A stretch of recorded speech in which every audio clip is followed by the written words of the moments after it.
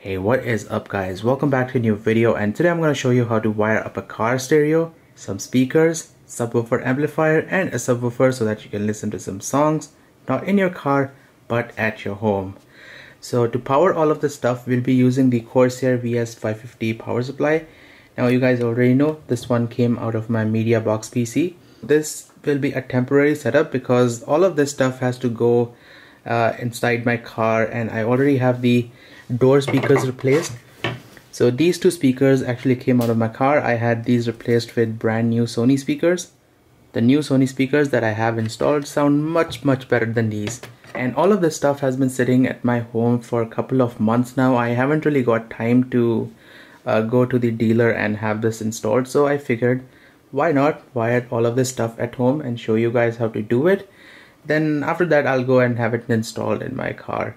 And the car stereo I will be using is a Sony WX920 Bluetooth. BT stands for Bluetooth. So this one does have Bluetooth, you can stream music from your phone. But today we'll try and stream music from my desktop PC. So let's begin. And anyways, let me first show you the speakers. These are the Sony XS FB693E three-way speakers and the amplifier I'll be using for the subwoofer is this Sony XMN502 and this one also has a low pass filter which is necessary for a subwoofer. It's bridgeable. It's a two channel amp but you can bridge it to power a single subwoofer. That is exactly what I'll be doing. And this is the subwoofer that I'll be using with this setup. Now if you guys have seen my previous videos this subwoofer came out of my home theater system because the original subwoofer of my Sony home theater system. That one died and I replaced it with this car subwoofer and it works quite well. So just if you haven't seen my previous videos here's the model number XSNW1202S and this one is rated at 300 watt RMS so in fact this amplifier is a little weak for this subwoofer but it should work and to wire all this up. I bought this 14 gauge speaker wire from Amazon. And if you want any of these parts all the links are down in the video description. You can buy stuff from Amazon and wire them yourself. And lastly you'll also need this two male-to-male -male RCA audio connector that connects the head unit to the amplifier. So let's get started. So every car stereo comes with a bunch of stuff. Now this might vary from brands to brands but this is the front faceplate goes in like this. Uh, we don't need that for home installation but yeah if this thing was uh, getting installed in a car which it will we will be needing this. So I'll save that for later. We have the manual. Make sure you read the manual. We have the wiring harness the remote control with some mounting screws and then we have the microphone and the head unit itself and this is a really nice little head unit. It's got Bluetooth got CD and let's move at the back here. We have the different connections. The bottom one is for the subwoofer. These two are redundant. If you were connecting a power amplifier to the front and rear speakers then we will be using this but we don't need this because we'll be connecting the front and rear speakers through the wiring harness so to turn a car stereo on, all you need is these three wires. Yes, it's that simple. So the black is the negative or the ground, the yellow is the positive or plus 12 volts, and the red cable here is for the accessory position in the ignition switch. Now, since we do not have an ignition switch here at home, we will connect these two together. So you'll need to connect the yellow and the red cable together uh, the red will also be supplied with 12 volts. So this will be one. Now coming to the power supply part take your wire stripper and cut out this floppy disk connector or any connector that you will uh, plan not to use in the future. And we don't need the red wire but what we do need is the yellow and the black wires. The black again these are the ground wires and this is your plus 12 volt. Then you just join these two wires to the yellow wire and the black goes to black. Let me show you. So this is all you need to do. You need to connect the black wire of the wiring harness to the black wires of the power supply. And you need to connect the red and the yellow wire to the yellow wire of the power supply.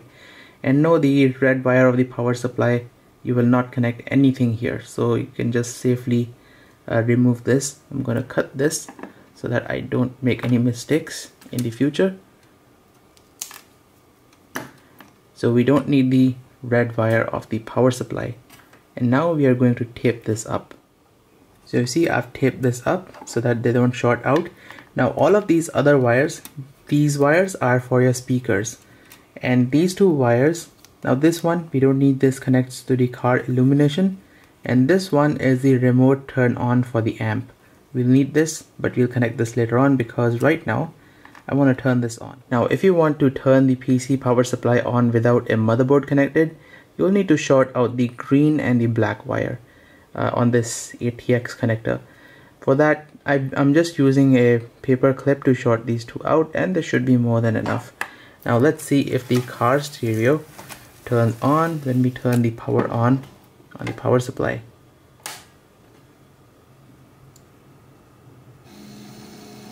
And there you have it. It does turn on. Now, next order of business is to connect the speakers. But yeah, this thing does turn on. It's just showing a demo. Now, whatever I'm showing you, everything is given here in the manual. So for example, if we want to connect the speakers, it says that the white and the white black striped wire is for the left speaker.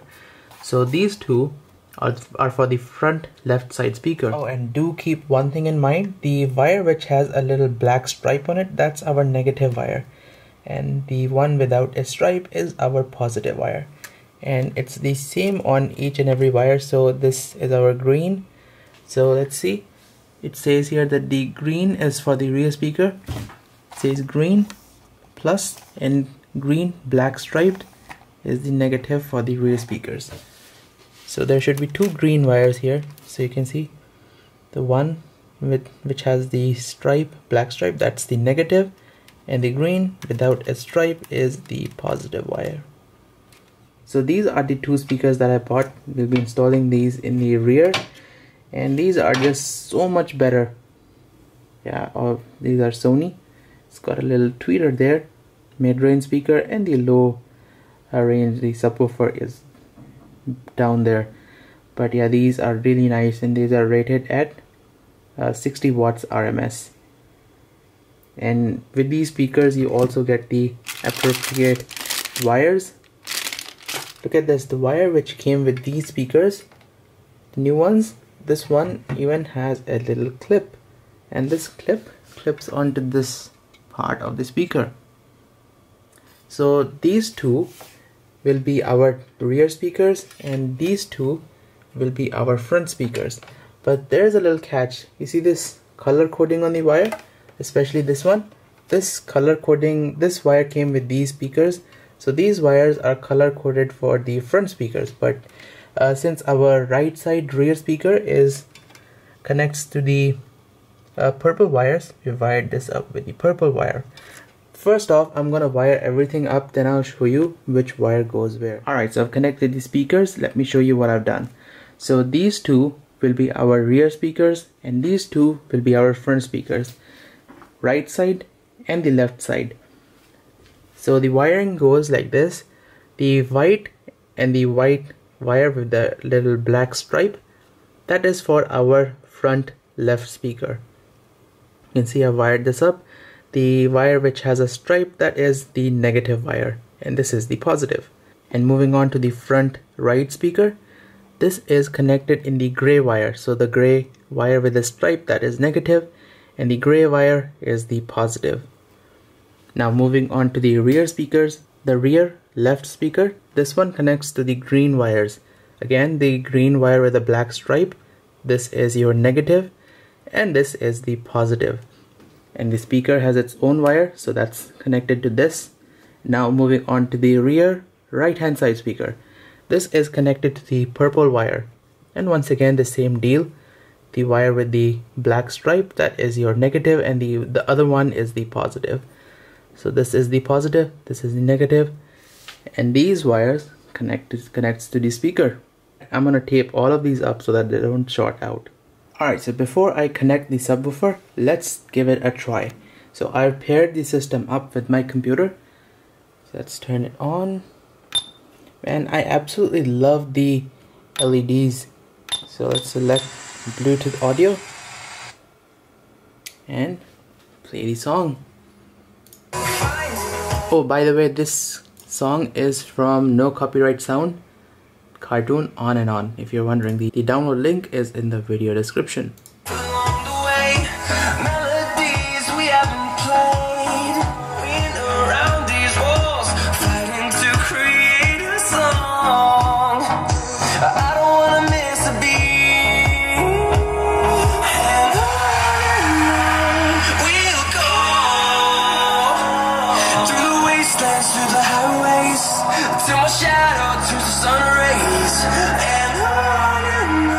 yeah I cannot I cannot increase the volume too much because when the bass hits the whole speaker starts jumping like this. So that's why that's what you heard the little grinding noise.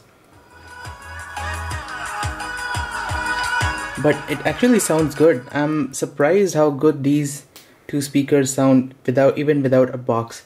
So if this was permanent I would get a box for all of these speakers. With the box they would sound 10 times better than they do now but yeah the thing is it works. Now let's wire up the subwoofer. So here's our amplifier that we'll use to power up the subwoofer. And this is quite heavy.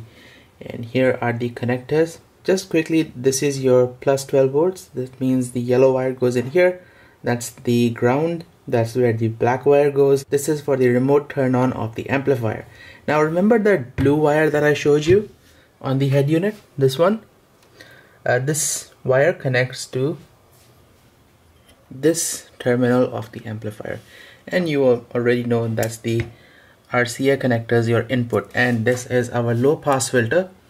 We will need to turn the low pass filter on because we are connecting as a subwoofer I'm just gonna leave the level on at the default level. We'll check that out later on. And this high level input this is also redundant. We don't need this for this build Alright, I'm gonna wire this up and uh, I'll be back. Oh, and by the way, uh, with the amp you get this uh, high level input connector, some screws, and then we have the manual. And yes, please, please, please read the user manual because this is very important. And I'll put the download link of these manuals in the video description so you can check them out yourself. So let me just wire this up and I'll be back. Alright guys, so this is the final setup. This is how you wire up a car subwoofer and an amplifier to a head unit at home. Now take a look at this. These two wires are coming from the power supply. And what I've done is I have spliced out one of those CPU connectors.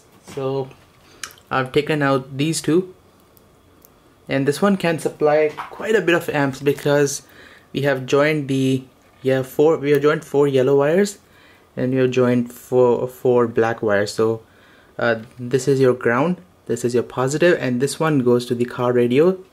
Now I did not have a blue cable so I just used a green one but this green wire connects to the blue cable of the car radio and this is uh, that remote turn on. Now this remote turn on feature turns the amplifier on automatically when you turn the power on on the head unit and switches it off when you turn the power off on the head unit. And you see that LED there that shows that the amp is turned on.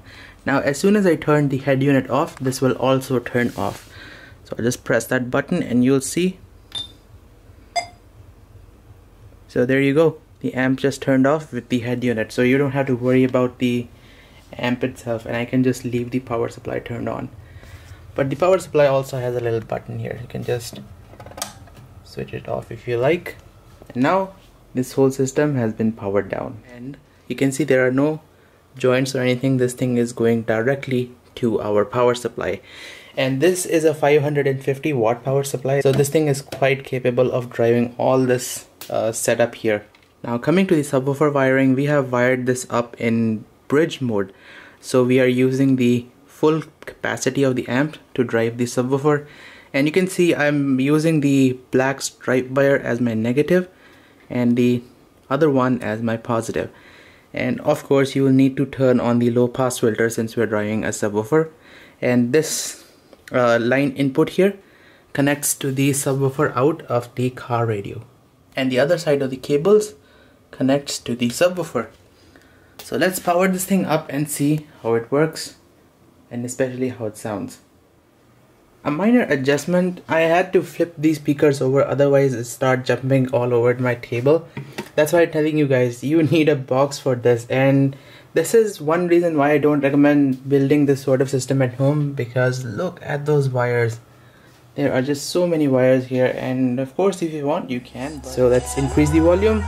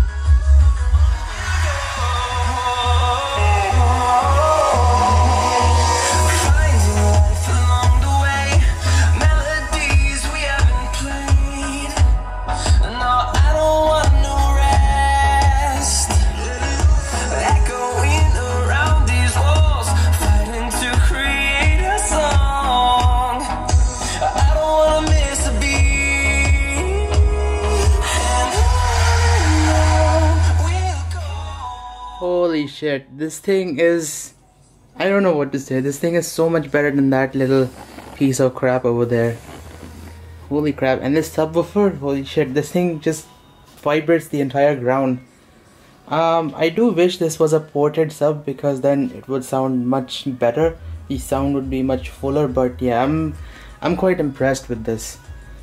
And I was I didn't know that this head unit had such a good amp. You know all these speakers sound really good. Uh, I I might get a box for these and just have them set up in my room instead of buying a set of multimedia speakers.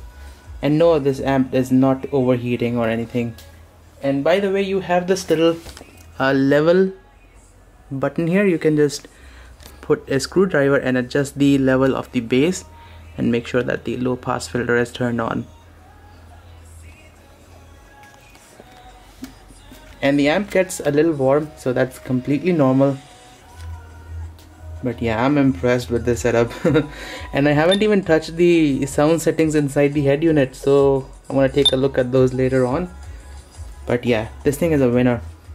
Alright guys so thank you for watching this video and if you have any questions feel free to ask me in the comment section down below and I'll be more than happy to answer all of your queries. So thank you for watching stay tuned for more videos like these and I will see you guys next time